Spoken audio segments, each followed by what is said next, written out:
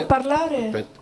Vai adesso. Avvocato, si torna a parlare del caso Sur Soledad. Ecco, un articolo pubblicato questa mattina su un quotidiano parla addirittura uh, di un uh, come dire, colpo di scena in questa vicenda giudiziaria. Vogliamo far chiarezza al momento qual è la situazione?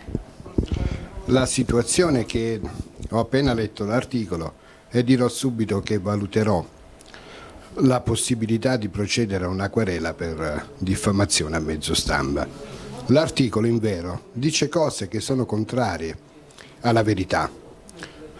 Dice cose, innanzitutto qui dobbiamo subito far capire che la sentenza di assoluzione, perché il fatto non sussiste, pronunciata dalla Corte d'Appello di Salerno, è stata impugnata dalle parti civili e ai soli effetti civili, anche perché il procuratore generale espressamente richiesto dalle parti civili di interporre appello, depositò un atto motivato con il quale, ritenendo che la sentenza fosse stata emessa in modo del tutto regolare, non volle interporre la impugnazione.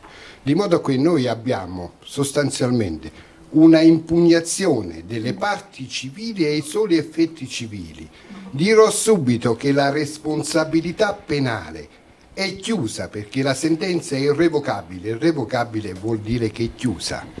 Quindi le, sen le sentenze di condanna per otto anni di reclusione messe in danno di Sor Soledad e di un anno e sei mesi in danno delle altre due consorelle accusate solo di favoreggiamento è oramai irrevocabile, chiusa. Ora, nel giudizio di Cassazione, che pensate bene si è tenuto il 17 aprile del 2017, la sentenza, contrariamente a quando dice l'articolo, dobbiamo leggere le, la sentenza è stata depositata, io ce l'ho qui, il 14 maggio di quest'anno. Cioè le motivazioni sono state depositate dopo 13 mesi in violazione di qualsiasi normativa legale, il termine è 90 giorni, il termine massimo. Dopo 13 mesi è stata depositata. Ora, qui abbiamo una sentenza che ha effetti solo sulla responsabilità civile. Ecco, giusto per far capire insomma, ai nostri eh, telespettatori, le parti civili possono richiedere come dire, risarcimento danni. Sì, quindi attiene solo a un eventuale risarcimento danni. Poi rispetto al processo è stata accolta solo per una parte. Voi ricorderete che lì le ipotesi erano due distinti procedimenti, uno nei quali si assumeva che gli abusi avvenissero all'interno dell'asilo e un secondo procedimento che invece riguardava fatti che si sarebbero svolti al di fuori dell'asilo. Ora per questo secondo troncone, noi abbiamo detto primo troncone, secondo troncone, la Cassazione ha rigettato i ricorsi delle parti civili e li ha accolti solo per la prima parte, ma l'accoglimento, questo che mi preme evidenziare, l'annullamento è avvenuto soltanto per vizio di motivazione e non come sembrerebbe leggendo l'articolo è stata acclarata la responsabilità, la responsabilità di che? La responsabilità dovrà essere valutata nuovamente dal giudice civile cui è stato rinviato il giudizio. Quindi anche da questo punto di vista, cioè ai fini della responsabilità civile, l'annullamento riguarda vizi della motivazione, perché la Corte di Cassazione è qui, purtroppo qui le questioni sono molto complesse e non è semplice farle capire.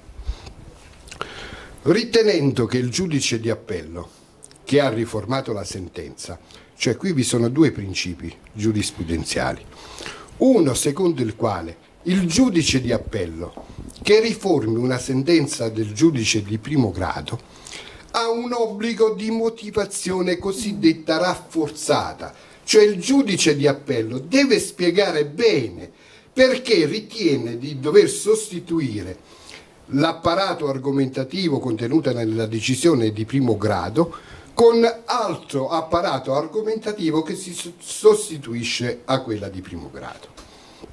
Peraltro la stessa Corte dà conto che sul punto vi è un contrasto in seno alla stessa Corte di, di Cassazione, perché questo è un principio, poi ve n'è un altro di segno opposto, che dice questo è vero, ma quando il giudice di appello condanna, emette una sentenza di condanna, quando invece il giudice di appello assolve, questo principio non si applica più, perché se condanni allora il principio da applicare è quello che il giudice condanna al di là di ogni ragionevole dubbio, ma se il giudice assolve, basta che l'ipotesi accusatoria sia inficiata da contraddizioni, sia insufficiente.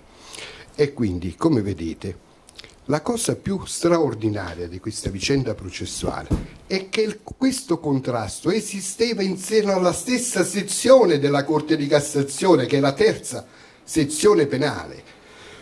Quindi la Corte di Cassazione ha semplicemente detto, contrariamente a quanto abbiamo detto in un'altra sentenza, per il quale era stato applicato questo secondo principio, secondo il quale quando assolvo io non, devo, non ho obbligo di motivazione rafforzata. Quindi contraddicendo se stessa ha emesso una sentenza di condanna, dice no, quello è preferibile il primo orientamento.